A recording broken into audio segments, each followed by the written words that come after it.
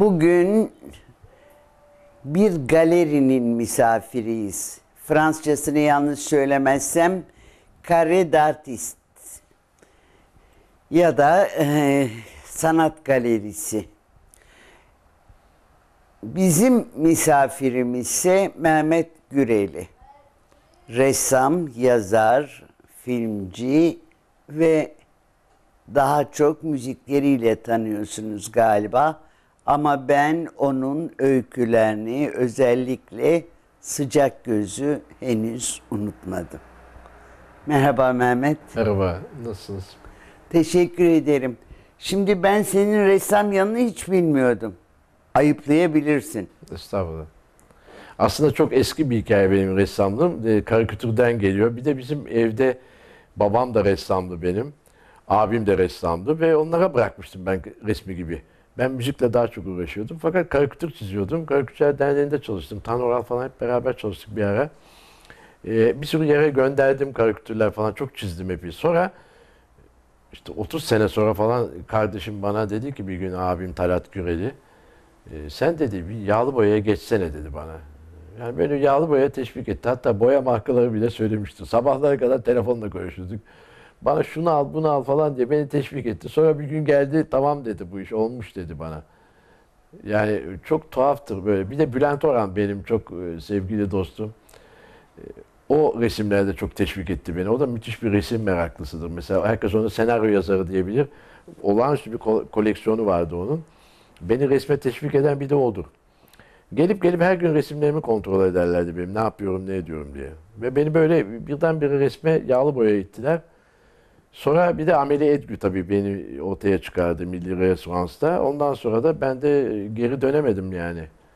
Şimdi sulu boyalar yapıyorum. Burada daha karışık teknikler yapıyorum. Bu buradaki espri tabii kare olması resimlerin dört boyutta yapıyoruz. O da başka bir bana bir dünya kattı burada. Burası da çok e, hoşuma gidiyor böyle çalışmak. E, buradaki insanlar, dostlar. Çok güzel bir yer burası da. O yüzden hani burada mesela resimlerin e, boyutları belli ve fiyatları da belli. O anlamda da değişik bir yer burası. Yani piyasaya göre çok daha piyasanın altında fiyatlar. Ama şey gibi yani herkesin ulaşsı istedikleri bir şey bu. O yüzden burayla da çalışıyorum. Tabii yağlı boyalar devam ediyor. İşte bir sürü şeyler yapıyorum aslında. Sen gelmeden önce senin kulaklarını çınlattık. Ee, güzel bir hayatın var. Ee, güzel sürmesini e, diliyorum. Tabii bizim olduğumuz yerden bakınca e, canın istediği işi yapıyormuşun gibi görünüyor. Yani canın istediğinde beste yapıyorsun, canın istediğinde şarkı söylüyorsun, canın istediğinde resim e, yapıyorsun. E, yani sabahleyin kalkıp bu faturaları nasıl ödeyeceğim kaygısı mutlaka vardır da yani onlar yüzünden bir yere e, bir ara hürriyette bağlıydın galiba orada da 10 sene, çabuk ço- 10 se- 10 bağlarını sene çalıştım. Ha, işte 10 sene sonra çözmüşsün ama. Ama o sırada bütün bu e, disiplinler devam ediyordu.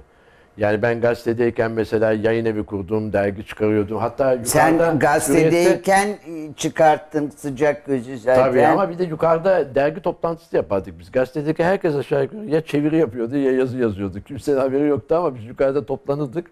Yemek yerken ben yazılar dağıtırdım. Sonra cemiyette mesela çantam doludur benim. Kimi görsem onlara çevirilerini dağıtırdım. Şu tarihte istiyorum derdim. Herkes de çalışır yapardı. Çok Hangi kimse- dergiyi çıkartıyordun? Nisan, Nisan'ı çıkarıyordum. Aa doğru. Sonra Beyaz'ı da ben çıkardım ilk baş. Üç sayıyı ben çıkardım. Sonra Nisan'ı tek başına başladım. Sonra önce bir arkadaş vardı o ayrıldı. E, fakat hepsi böyle herkesin e, o sırada gazetecilikte yetmeyen duygularına hitap ediyordum ben. Yazı, çeviri olsun falan. Yani o bir Belki dengeliyordu Mehmet- bizi. Mehmet- Hürriyette kalmamızı, gazetede kalmamızı dengeleyen şey oydu. Belki Mehmet de öyleydi bilmiyorum. Var mıydı aranızda Mehmet Altan? Mehmet vardı, Ahmet vardı. Tabii tabii hepsi beraberdik biz. Ahmet'le hatta aynı dönemde başladık. Mehmet değil tabii. Ahmet Ahmet'le benim beraberdik kastettiğim. ama Mehmet'in de ilk kitabını ben bastım. Yani Çünkü Kanatlı Ahmet Karıncayı. benim çocukluğunu falan bildiğim, Tabii. çok sevdiğim bir e, arkadaştır. Birden bütün o yaramazlıkların içinde Ahmet olmazsa olmaz gibi geldi. Tabii vardı beraberdik zaten her zaman. Şimdi de hala e, en iyi dostumdur benim. Yani hiç kopmadık hiçbir zaman. 45 seneyi bulacak neredeyse. Şimdi o, o dönemde de mesela Ahmet de yazı yazardı. Mesela Pardayanlar özel bölümü yapmıştık Nisan'da. O sırada bütün gazete Babali yazmıştı orada yazı. Yani yazmayan yoktur aşağı yukarı. Hatta böyle vinyetler kullanmıştık. Kılıçlar, şapkalar falan. Pardayanların ne, bize ne bıraktığını yazmıştık. Şimdi Pardayanları okumamış bir kuşakla karşı karşıyayız. Pardayanları okumayınca Pardayanları anlatmak çok zor. Pardayanlar bir duygu meselesiydi. Yani bazı insanların şövalyelik dediğimiz yani arkasını dönüp gideceği, umursamadığı insan tipi ve bazı şeyleri karşılıksız yapabilmeleri, sözünden dönmemeleri, gururlarını hiçbir zaman öne çıkarmamaları ama gururlarından da hiçbir şey kaybetmemeleri, yürüyüşlerini bile hatırlıyorum. Çevik adımlarla yürürdü düşüncesi bile halen benim içimde böyle yer etmiştir. Bir kitabın insan hayatındaki belki tabii 10 cilttir o Pardayanlar. Ahmet'in de öyleydi. Bol bol Pardayan konuşurduk. Ve o Pardayanlar özel e, sayısı fikrini Ahmet atmıştı. Demiş ki bir Pardayanlar yapalım demişti falan. Herkesten yazı istemiştik. O zaman kimler yazmıştı? Sevin Okyay, Emre Kongar, Ömer Madra, işte Pardayanlar kuşağı. Parlayanlar kuşağı hepsi parlayanları nasıl överek yazılar yazmışlardı. O sayılar e, yani e, peki parlayanlar ne oldu? Hatta Atilla Dorsay da bu parlayanlar üzerine bir yazı yazmıştı. Mesela parlayanlar ne demek diye. Fakat daha sonra bu genişlemedi. Çünkü parlayanları bilmeyenlerin yönettikleri durumlara düştük biz. Yani Pardayanlar devam etmedi kuşaklar böyle. Belki Fransa'da da böyledir. Yani mesela Pardayanları Jean-Paul Sartre okumuştu. Hatta topladığı söylenir onun e, fasikülleri. Fakat o kuşak Fransa'da da kalmadı. Yani bazı şeyler kaybolup gidiyor belki. Şimdi e, Pardayanlar tabii bir e, bana hep karşılıksız aşkı savunanlar gibi gelir. Doğru. Benim için e, yani Pardayanlar nedir? Fausta, Fausta ile olan aşkı mesela nefret kar- ilişkisidir. Hiç kar- bitmez. kar- karşılıksız aşkı savunabilen bir kuşaktır. Evet, tabii. Benim için e, ve şövalyeliği dile getirmeyip yaşayan bir kuşaktır. Aynen Ee, doğru. övü- ama şimdi bu, bütün bunların e, çok Osmanlıca bir laf olacak ama ihrapta yeri yok. Yani bugün artık reklamı yapılmayan bir şövalyelik, reklamı yapılmayan bir aşk, Ama zaten reklamı yapılmasını istenmeyen bir durum bu. Hayır, reklamı, öyle o reklamını zaten de. istemiyor. Yani bu zaten karşılıksız olmasının nedeni, güzelliği de orada. Şimdi bugün de mesela kayboldu zannediyoruz. Aslında yine bunu sürdürenler var. Gizli gizli parlayanlar dolu dünyada. Ama bu duygu eskiden bir kapağıyla, kitabıyla herkesin cebinden çıkabilirdi. Mesela biz okurken okulda bile yanımızda parlayanlar taşırdık. Sonra Parlayanlar filmi geldiği zaman heyecanla koştuğumuzu bilirim. Koşacağımız adamlar vardı o dönem. Şimdi bilmemek aslında e, belki büyük kayıp ama yeniden bu gelecektir. Yani o kapaklar e, bir sürü kimsenin evinde vardır o parlayanlar. Hala saklıyorlardı ben eminim ona. Ya onlar bir gün birilerine iletecekler. Yeniden onların dünyası. Onlar kaybolmaz gibi geliyor. Böyle duyguların kaybolacağına inanmıyorum ben. Yani kaybolursa çok üzülürüm ama Şimdi Pardayanların tekrar e, dünyaya gelmesi için kötü bir öneri ama e, herhalde bilgisayar oyunlarına girmesi lazım. ha, olabilir işte. Bir bir yerden girebilir. Yani, Yani, başka türlü e, o kuşağın bana şey geliyor yani kitaptan bu senin düşündüğün gibi çevik adımlar, hızlı adımlar, e, onların ellerinin bir hareketi, e, rüzgarın yüzlerine vuruşu bu- bunu e, bilgisayar çağında bir çocuğun düşleyebileceğine inanamıyorum. Yani bir düş eksikliği yaşıyoruz. Olabilir. Mekanik olabilir. ve yanılıyor olabilirim bilmiyorum. Belki de da. onların, onların düşlerini biz bilmiyoruz. Belki de yeni bir şeyler var. Belki Pardayan'ın yerine, yerini alan başka kahramanlar var. Yani benzer kahramanlar ve biz de onları tanımıyor olabiliriz. Nasıl onlar Pardayan'ı tanımadığını düşünüyorsak. Böyle bir de birbirini tanımayan insanlar kuşağı da var. Bugünün dünyasında üst katta kimin oturduğunu, alt katta kimin olduğunu bilmeyen insanlar hep bunu söyleyip duruyorlar. acaba merak ettin mi diye sormuyorlar kendi kendilerine. Aslında hep şikayette bulunuyorlar. Mesela internetle de ilgili hep şikayet dinliyoruz. Mesela kirli bir bilgiden söz ediyorlar. Halbuki orada kazanılan bilgilerden söz etmiyor kimse. Mesela ben şahsen bir şey için hemen internetten neler bulduğumu kendim hemen söyleyebilirim. Siz de söyleyebilirsiniz. Neler dolu. Yeter ki arayıp bulmayı bilmek lazım gibi geliyor. Evet e, aslında biz bizden sonraki kuşakları hiç tanımadığımızı galiba Gezi'de biraz fark ettik. Tabii. Tabii. Yanı başından geçiyor. Ne yaptığını ben anlamadığım insanlar var. Ay ben şimdi benim e, 20 yaşlarında bir torunum var. Biraz geçiyor da olabilir 20 yaşını. Bir şey çalıyor. E, elektro gitar çalıyor. E, rocker zannediyorum. Hatta biraz metal de olabilir. Çok fazla e, ne dinlediğini bilmiyorum. O da benim ne dinleyebileceğimi bilmiyor.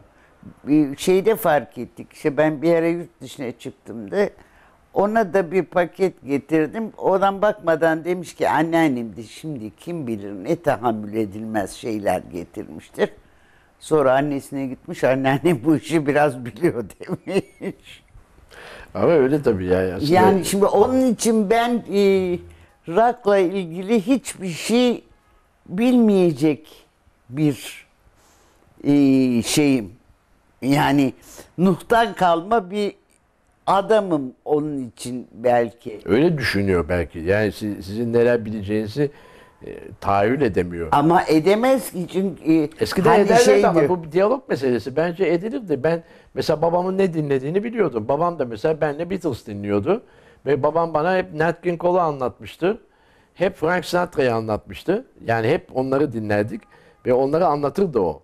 Yani onlarla ilgili bütün hayatın nasıl geçtiğini anlatırdı. Şimdi ben onun o dönemini biliyorum. Sonra mesela herkes zamanını yaşıyor. Ama bir de şey var. Yani klasik dünyalar var. Bir sürü klasik dünyaya bakıp o, o müziklerle yaşamak var. Şimdinin kuşağı ikisi arasına kaldı. Mesela yeni şeyler çok fazla üretemiyorlar. Ama geçmişi öğrendiler. Yani Pink Floyd'dan Ama- düşünün Beatles'a kadar yani yeni kuşak bir sürü şey biliyor. Ben Canım onlar şeyle e, büyüdü. Bir de onu buluyorlar. biliyorum. Yani Bunları hayır. bulma şansları var. Mozart Mozart'la falan büyüdü. Yani o E be- tamam işte. benim Senin e, ev- zorlamam evde olan değil. şey, evde yaşanan şey. E, yani normal olarak e, küçük bir gece e, melodisini bilmem e, dinleyerek büyüdü. O- Ama Onun Selahat. Selahattin Pınar'ı da dinlemiştir. Öyle bir Ha kuşaktır o. tabii de- dedesi yüzünden Ama işte böyle bence zaten bu İstanbul'un, e, bu Orta Doğu'nun karışıklığının güzelliği burada. Biz hepsinle ilgiliyiz aslında. Biz o yüzden biraz daha bence çok fazla duyarlıyız. Çok daha fazla bilgiliyiz de aynı zamanda. Yani biz Fransa'yı da çok iyi biliyoruz. Orta Doğu'yu da biliyoruz. Hatta Doğu'yu da biliyoruz. Biraz fazla biliyoruz belki. Yani bunu Tanpınar da hep değinir durur. Yani iki, tarafı iyi bilmenin aslında avantajı ve dezavantajı. Dezavantajı aslında yaşanıyor. Avantajı yaşanamıyor tam. Biraz da o taraftan bakmak gerekiyor. Biz resmi de mesela tam bulamadık. Belki kendimizi hep böyle batıdan getirdik. Kendi resmimiz de çıktığı zaman da onu görmemezliğe başladık. Biz ikisi beraber işliyor bizde. Edebiyat da öyle. Edebiyat da mesela çeviriye yeni geçtik biz. 100 yıl önce geçmemiz lazımdı. Bu bir devlet politikası da olabilirdi. Bir istek de olabilirdi. Biz kendimiz için yazdık, çizdik gibi oluyor. Ama onların yazdıklarını her şeyi takip ettik. Yani biz Reşat Nuri'yi biliyorduk ama onun ötesindeki bütün Fransa'yı daha iyi biliyorduk. Flaubert'leri daha iyi biliyorduk. Balzac'ı daha iyi biliyorduk okullarda. Okullarda okutulmuyordu. Bir de e, galiba eğitim çok eksik bu ülkede. Yani eğitim diye bir problemi bence sil baştan yeniden birilerinin oturup yeniden düşünmesi lazım. Eğitim problemi var aslında. Bütün bence bütün gözüken sakatlıklar hepsi onunla ilgili. Yani okulda öğrendiğimiz yanlış bilgiler ve öğretilmeyen güzel bilgiler. Bu bir, bir tabii bir subjektif bir değerlendirme yapıyorum ama galiba onunla ilgili her şey. Eğer farklı olsaydı bütün bu söylediğimizi şu kadarcığını bile okulda yani bir müzik dersinde Selahattin Pınar artı Mozart, Bach, Handel arkasından işte bugünün çağı metal, Jimi Hendrix mesela en iyileri bilecek bir müzik hocası. En kötüleri örnek veriyorlar. Aslında Jimi Hendrix'i öğretmek lazımdı. Sonra Eric Clapton'ı öğreteceksin. Sonra da Beatles'ı başlayacaksın. Hepsi Elvis'e kadar inecekti bu. Eğer böyle olsaydı Biz Mozart'ı da daha iyi anlardık, Itri'yi de daha iyi anlardık. Hepsi beraber yürüyecekti çünkü. Bir taraflara takıldık ve arabesk geldi mesela herkesi ruhen sakatladı. Halbuki arabesk aslında o sıradaki kafa yapısıydı işte. Aslında çok güzel şeyler de yapıldı orada. Onlar da mesela onlar düşman insanlar çıktı. Yani hep böyle oluyor aslında. Yani mesela fikrin içinde beğenmediğimiz bir şey olduğu zaman hepsine kızıyoruz biz. Biz kızma şeyi bizde öğrenme şeyinin hep önünde gidiyor galiba. Hep kızıyoruz ve öğrenmeyi hiç düşünmüyoruz. Bu müzikte de böyle oldu, edebiyatta. Şimdi siyaset de böyle. Birine kızdığı için birini tutan partiler çıkmaya başladı. Halbuki ne diyorsun sen dediğin zaman kendi düşüncesini söylemekten bile aciz bir sürü fikir var ortalıkta. Fikir bile değil belki. O yüzden de bocalıyoruz, halen bocalıyoruz. Hala kızgınlıklar hep önde gidiyor. Yani siyasetin yerine kızgınlık önde gider mi? Neden biz bu huzurlu, mutlu bir ülke olamadık ele- yani? Şimdi eleştiriyle kızgınlığı karıştırmanın sonucu belki çok önemli bir şey söylüyorsun. Sen adam kızıyor diyorsun. Halbuki e, eleştirmesi lazım. Değil Öğrenip mi? yerine bir şey koyması Ede- lazım. Edebiyatta da yani çarpıklıkları ya da sana göre yanlışları belki de o çarpıklık değil adam o çarpıklığı anlatmak istiyor. Çarpıklık yazı çizecek. Hayır ona biz kızarak karşı koyuyoruz. Evet problem o da işte yani. Ve hiçbir yere de varamıyoruz bu yüzden. Çünkü kızdığımız mesela kişi oluyor, kızdığımız bir kurum oluyor ama fikir ortalıkta dolaşıyor. Onunla ilgili bir şey koyduğun zaman, mesela bir rengin yerine bir renk koyduğun zaman veya bir cümlenin yerine bir yeni bir cümle koyduğun zaman insanlar ilgili. Mesela şu müzik çok kötüdür dediğin zaman sana bir şey soruyorlar. Nedir senin örneğin? Sen ne diyorsun diye soruyorlar. Aslında bu sen ne diyorsun meselesi bizde çok da konuşulan bir şey. Aslında bazı yerlerde hiç konuşulmuyor. Bir sürü üreten insan var dünyada. Bırakıyorlar. O gidiyorsa güçlü bir şeyse zaten okyanusa varıyor. Güçlü bir şey değilse zaten yarı yolda kaybolup gidiyor. Bir su birikintisi de karışıyor, eriyor gidiyor. O kadar fazla erimiş gitmiş şeyler var ki bizde ama bunun kızgınlığı devam ediyor. Neyin devam etsin ki? Daha iyi bir şeyleri öğretecek insanlar lazım. Bence hep böyle e, bilen insanlar olması lazım. Yani geleceksiniz edebiyatı siz anlatacaksınız. Bildiğiniz her şeyi dökeceksiniz. Yani seminerler üniversitelerin kapısı açılması lazım yani. Böyle çanta taşıyan adamlardan kurtulması lazım okulların. Ama Başka yere e, gitmesi lazım bu işin. Yani, yani bu akademiklerin, planlar- akademisyenlerin arasındaki bir mesele değil bu. Başka bir şey bu. Şimdi bu söyledik, söylediğin hiçbir şeyi yadırgamıyorum. Çünkü ben bir şans olarak tabii onun şans olduğunu e, fark ettiğim zaman benim edebiyat öğretmenim ölmüştü. Hiçbir zaman kitabın sınırladığı ölçülerle okumadık biz yazarları. İşte iyi bir hoca demektir bu. e, ne okunacak diyelim ki e, Ahmet Halit Yaşaroğlu. Bu yayıncı tabii yazar değil mi? O kitabın aslı geldi sınıfa. Yani öğretmenimiz bize hiçbir zaman dersimiz işte e, e, şeydir, çoban şiirleridir. Bu parçayı okuyacaksınız demedi. Kitabın aslı geldi. E, kitap kütüphanede mutlaka onun eşi vardı. Biz seçtik, okuyacağımız parçayı da biz seçtik. Ay, Nazım'ın 1958'de Nazım'ın annesinin Yahya Kemal'le aşkı üstüne hikayeler bir kız sınıfı düşünün dinleyerek e, ders yaptık. Yani ama bizim için bu tabii çok komik bir olaydı. Çünkü o sıra Yahya Kemal Sağ ve tombalacık bir adam. E, şimdi hocamız Nazım'ı şöyle ima ediyor. Yani bir yerde adını söylediyse bir daha söylemiyor. Yurt dışında e, çok önemli bir Türk şiirinin şairinin annesi. E, bir kocaman adamın annesi nasıl olur? Namaz bezli bir adam. Şey kadın. Biz şimdi bir e, şeyin kafesin arkasına namaz bezli bir kadın oturtuyoruz. Sokaktan da tombalacık Yahya Kemal geçiyor. Biz ha ha ha hi hi diye gülüyoruz. O arada e, öğretmenimiz bize ses şiirini langırt diye koyup onun üstüne sorular üretiyor. Şiir üstüne e, Nazım'ın e, bu şiiri e, nasıl e, elden geçirdiğiyle ilgili falan. Ama bu kadar e, özgür bir edebiyatın ne kadar önemli olduğunu ben yıllar sonra anladım. Çünkü ben hiçbir zaman böyle etrafı çizili bir edebiyat okumadım lisede. Ama işte bu bir şans. Hayır bu Şans. kadar büyük şans E aslında. tabii şans. Çünkü her yerde böyle bir şey yok işte. Ben Yok o şeyin Eğitim- e, Reşat Nur'un öğrencisi bir hanımmış. E, İşte böyle şeyler bazen insanın hayatında önem taşıyor ve yalnız kalmanıza yol açıyor. Ha bu çok önemli ama. Bu söylediğin çok önemli. Yani çünkü başka bir kafa yapısıyla yetişiyorsunuz. Başka bir özgürlükten bahsediyorsunuz ve böyle sınırı çizilmiş dediğiniz insanlar sizin karşınıza çıkıp size böyle bakıyorlar. Yani ne dediğinizi bile hani anlamadıklarını bile söylemiyorlar ama bakıyorlar. Öyle bir şey oluyor. Bu müzikte de var, edebiyatta da var, Siz sinemada bu da var. dünyanın adamı değilsiniz diyorlar. Diyorlar. Ama Ama tabii ya tabii da çok- demiyorlar. Demiyorlar. Demiyorlar. Demiyorlar ama belli ediyorlar yani. Siz onu anlıyorsunuz zaten de zaten bilerek gelmişsiniz oraya. Ama işte yani e, Biz belki sizden değiliz e, sizin e, çok kalabalık bir kuşağınız olmamasının da belki etkisi oldu bunu.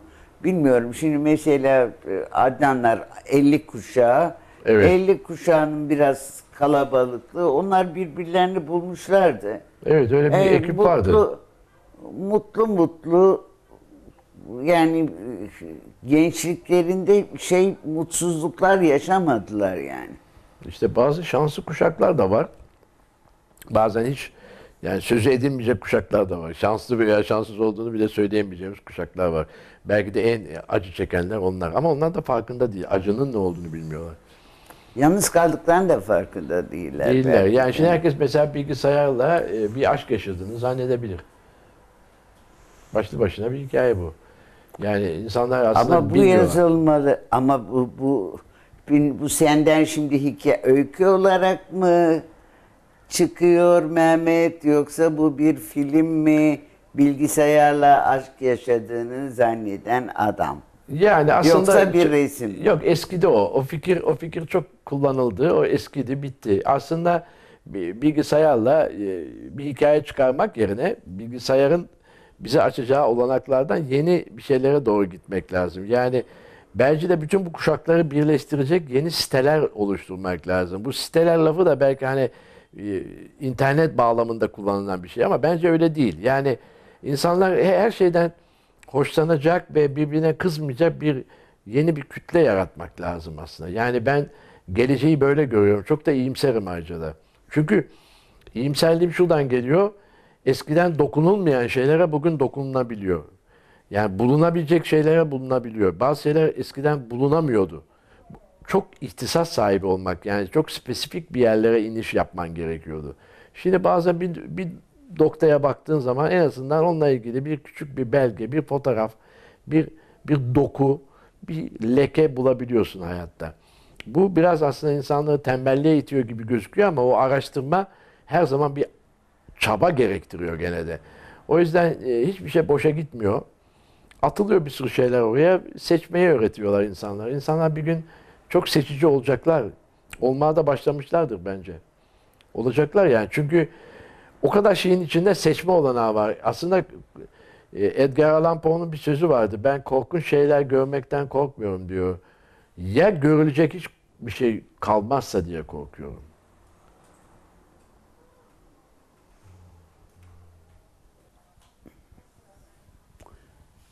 Evet bu çok önemli. Ama bence daha korkuncu gördüğün şeylerin görülmeye değmez olduğunu zannetmek.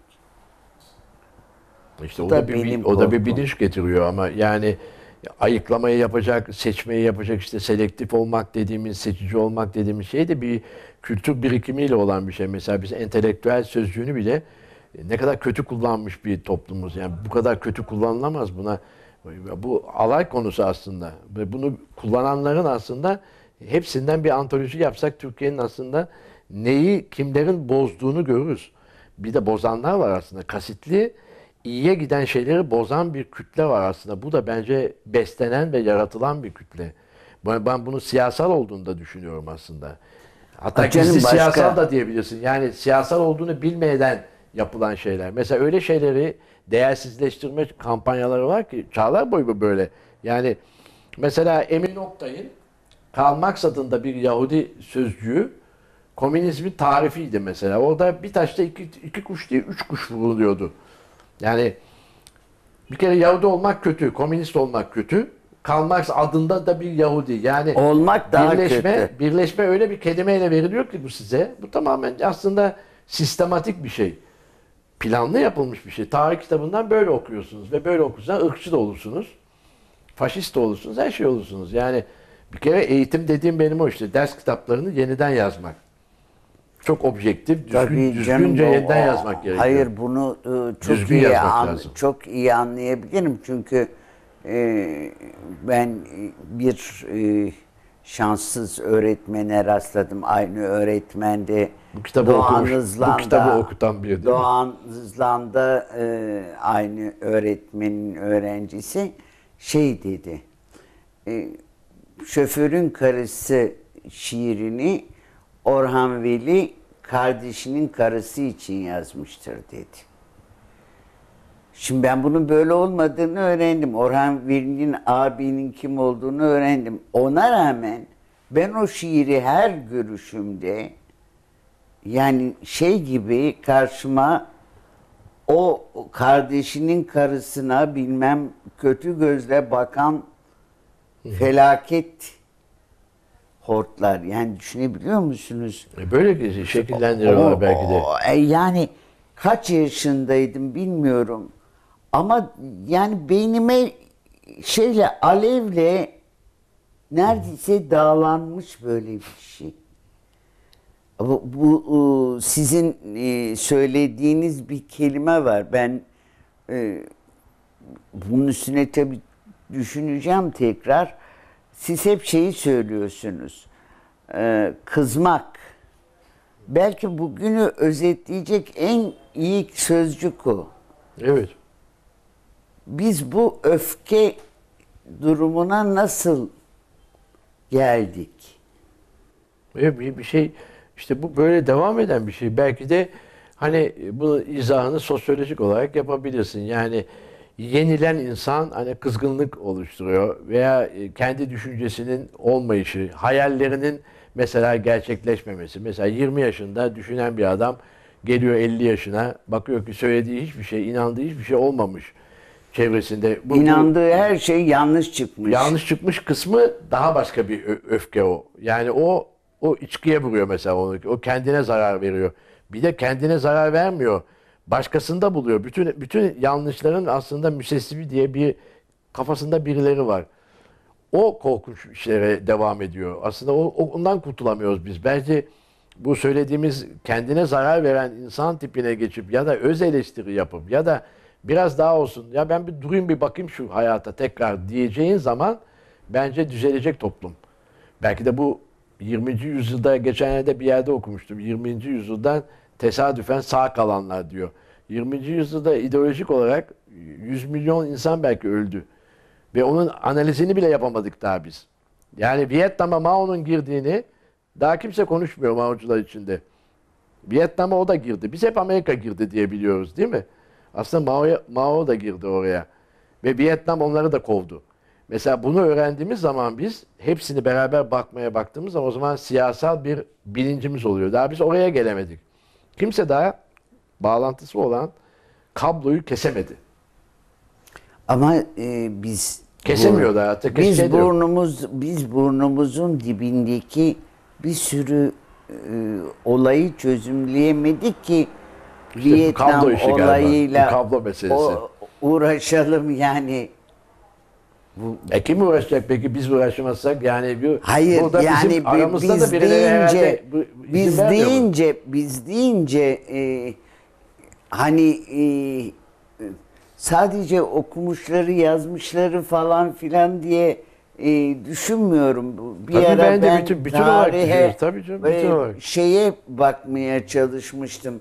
Yani bu Anadolu'daki gelen ağam giden paşam sözü nereden doğmuş? Yani e, ya da bana dokunmayan yılan bin yaşasın nereden doğmuş? Bir de köprü var. Köprüyü geçene kadar. Ha ama Yani şey bunlar o. aslında bu topraklarda mı çıktı sonra e, yerlerden mi geldi bilmiyoruz. Ama yok, şeyi ama bunu- Bunu çok bakıyorsunuz. zevkle kullananları Cem, biliyoruz ama. e, Cem'le Beyazıt arasındaki savaşta Türkmenleri yazarken Peçevi şey diye yazıyor. Peçevi olmalı. E, aptal Türkmenler diye yazıyor. E, Cem'e Karaman kapılarını kapatmış. Karaman'dan vergi kaldırılmış. Türkmenler de gelip Cem'in ordusunu vurmuşlar. İşte bir şeyler almışlar. Beyazıt da gelmişler. Beyazıt demiş ki ne istiyorsunuz? Vergi affı istiyoruz. Kaç kişisiniz? Yarın hepiniz gelin demiş. Adamlar da inanmışlar, gelmişler ve hepsi bunların kaza vurulmuşlar. Beyazıt'ın söylediği söz şu. İki şehzade mal bölüşürken reayaya düşen boynunu boyundurağa uzatmaktır. Yani insan olarak bakmıyor ona. Bir öküz gibi boynunu sen boyundurağa ıı, uzatacaksın. Sen benim arama giremezsin diyor. Ama bunun tabii kaç defa tekrarlandığını bilmiyoruz. Tekrarlana tekrarlana adam sonunda gelen ağam giden paşam ben araya girip kellemden mi olayım diyor. Kendi adına bir insanın birey olarak isyanı ne kadar geç bizim topraklarımızda olmuş düşünebiliyor musunuz? Bilmiyorum yani kızgınlık belki önce kendimize kızıyoruz. Ama siz o zaman kendine zarar verir diyorsunuz. Bunu bilemem. Kendine zarar verir demiyorum. Kendine zarar veriyor diyorum. Yani vermekte diyorsun. Veriyorlar yani devam ediyor de, vermeler. Başka yerlere geçmek lazım. Belki çok da kısır bakıyoruz galiba. Herkes siyasi bir yenilginin aslında devamcısı gibi veya bir mağlubiyetin aslında tadını çıkaramıyor. Yani mağlubiyeti noktayı koyup başka bir yere geçemiyor. Yani o e, 28 kere yenilen şal vardı hani yenile yenile yenmeyi öğrendim gibi. Bu aslında Aa, biraz e, bu Demirbaş şalı değil evet, mi? Demirbaş şalı. Mesela bu zihniyet bile aslında insanı biraz olsun ferahlatan bir zihniyet. Ya yenilgi devam ediyor bizlerde. Ta- Tarihe bir noktalar koymak gerekiyor. Tarih tarih aslında. Şimdi mesela Cem'le ilgili ben hep Cem tarafını tutmuşumdur hayatta. Mesela Cem'in orada giden bir şey vardır. Onu yolda keserler. Cem'e haber verirler. Yani Fatih'in öldüğünü ulaştıramadan ölür ve o yüzden Beyazıt bir hamleden belki bir saat, beş saat farkla kapı verir şeyi. Ve o ona haberi yollayan kimse de tabii ki Cem'in sadrazamlarından biri olduğu için yok edilir. Şimdi mesela tarihin değişimleri bunlara da bağlı. Mesela bir sürü şey böyle değişmiştir. O olsaydı ne yapardık diyoruz. Aslında yapacak hiçbir şey yok. Bu buna bir nokta koymayı bilmek lazım. Ve tarihte tar- tarafta tutabiliriz. Aslında deriz ki evet Troçki daha iyiydi. O olsaydı daha iyi de diyebiliriz. Yani bu bir bakıştır anlatabiliyor muyum? Cem için de böyle bir şey diyebiliriz. Böyle bir, bunlar aslında yenilmiş insanlardır tarihte. Bir Evet, anlamda. ama, e, ama aslında neler kazanmışlardır. Hala o bize verdiği şeylerle devam ederler. Mesela Cem'in üzerine e, okuduğumuz zaman Cem çok bir e, masal kahramanı gibidir mesela. Cem'i Cem'i aslında e, hangi güçler bir araya gelip yenmeye çalışmıştır diye baktığımız zaman Cem'in çok güçlü olduğunu görürüz biz. Ama ben hep şunu hatırlıyorum. Ee, Cem Beyazıt mücadelesinde benim için önemli olan Selçuk Sultan'dır. Yani halaları, büyük hala. O gelip bunları e, şey gibi, iki tane yaramaz çocukmuş gibi, evladım bu koskoca topraklar sanki tarlaymış gibi. Yani bir uçta sen yönet, bir uçta sen yönet. Ayıp değil mi, e, yazık değil mi gibi şey derken e, Beyazıt belki babasının sözünü tekrarlar. Hala hükümdarlar arasında akrabalık yoktur. İşte Yani şimdi e, budur. Tarih- tarih- Yani şey budur. E, bu bakışın getireceği iktidar e, savaşı budur. Ama şunu da hiç unutmayalım. Belki de e, Osmanlı tarihinin en zayıf yeri hiç e, şey değiştirmemesidir. Aile değiştirmemiş tek hanedan. hanedandır. O hanedanlar içinde başka hanedanların söz konusu olması var. Ama şimdi e, acaba biz meselelerimizi oradan mı alsak yoksa daha yakın noktalardan mı alsak? Tabii. Onu da bilmiyorum yani. Bir de yani bu bizi bizi aşan bir şey de bu. Yani bu bir sosyoloji konusu bu. Tarih konusu. Yani her konuda e, müthiş fikirlerimiz varmış gibi atlamamak lazım belki de. Belki de bu işi bırakmak lazım. Yani çünkü öyle detaylar var ki bizi bütün bu konuşmamızın mesela bilmediğimiz bir noktasına getirebilir biri gelip bir gün. Ben hep bunu beklerim aslında. Bir gün biri gelir der ki ama şu var der, orada biz susarız. Ya belki o yok ortalıkta çıkmadı ama yani böyle bir şeyi her zaman bilmek lazım. Ve biz eğer o kişiysek o zaman o, o dalda muazzam çalışma yapmamız lazım. Ve o kadar belge de yok, o kadar fazla şey de yok. Mesela bu taraftan baktığımız zaman Borgiella'dan takip ediyorum ben mesela bazı şeyleri. Yani İtalya'daki hayatı mesela Cem'in çok daha farklı bir şey. Bambaşka Tabii, bir şey. farklı. Mesela Osmanlı'yla aslında İtalya arasında sanki bir köprü varmış da buradan geçip oraya gitmiş bir mahalleymiş gibi. Yani Taksim'den Nişantaşı'na geçiş gibi. O kadar o kadar kültürel olarak yakın bir dünyada ki Cem iki tarafı da olağanüstü bir şekilde yaşayan bir adam. Şaşırtıcı bir şekilde. Yani Doğu Batı Cem okurken bitiyor.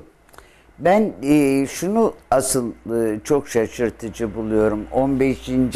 Cem döneminde ben e, bir kadın e, şairle bizim en önemli kadın şairimiz Mihri Hatun'la e, boğuştuğum için şunu asıl e, bir türlü algılayamıyorum nasıl olmuş.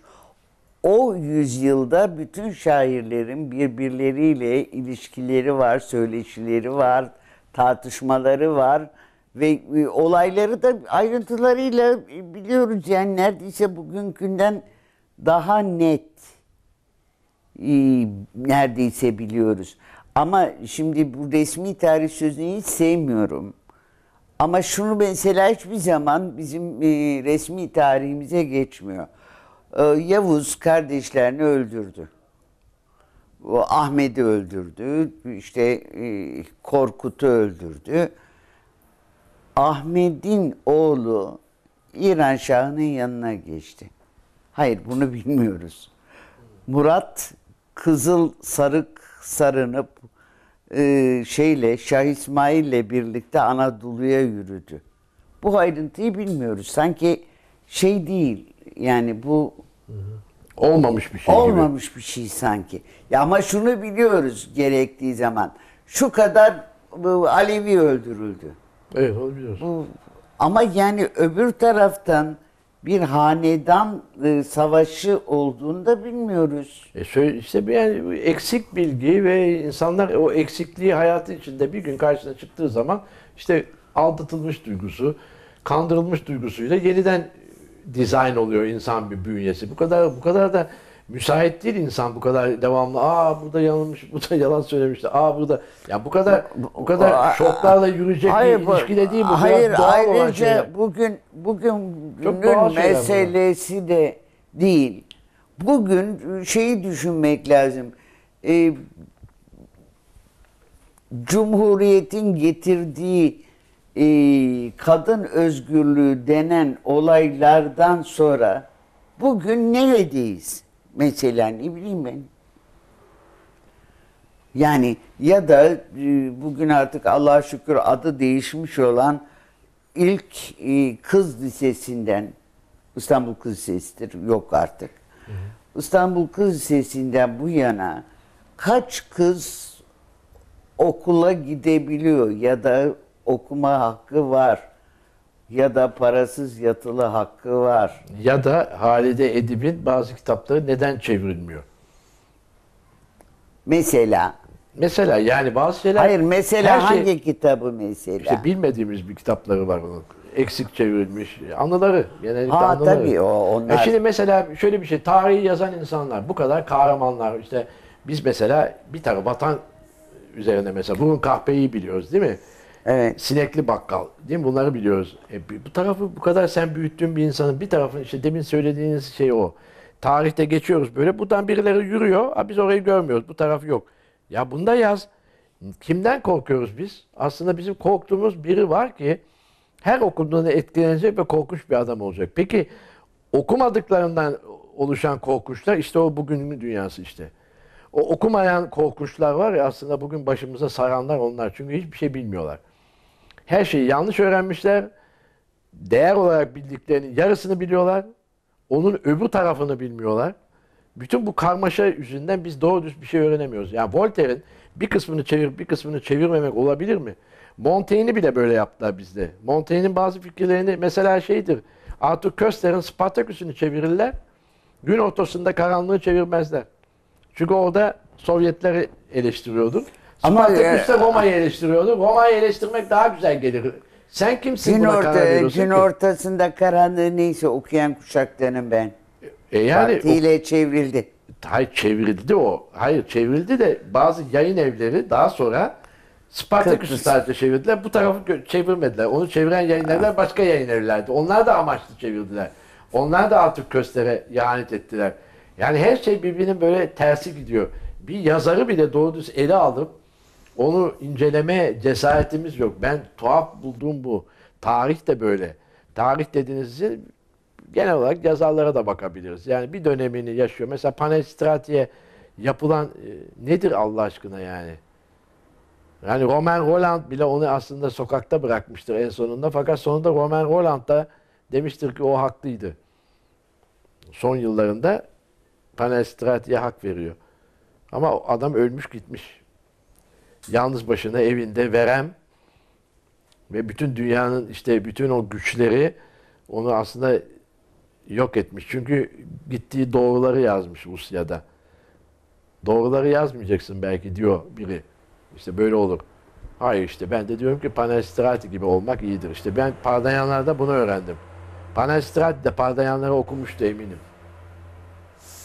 Sen e, pardayanlara devam edeceksin. Ediyorum evet. Ediyorsun ama e, tek başına e, güzel bir şövalyelik yaşıyorsun. Sağ olasın. Ee, Teşekkür ederim. Senin güzelliğin. Hayır, bütün bu e, güzelliklerle e, daha güzel günleri hak ediyorsun. O günleri hep birlikte yaşayalım diyorum. Sağ ol. Bugün Mehmet Güreli ile ülkemizdeki öfkeyi konuştuk bence. Yine güzel bir insanla güzel günlere inancımızı tazeleriz. Yeter ki sanata sahip çıkın, özgürlüğünüzü koruyun, özgürlüğünüzü koruyun, sanatla kalın.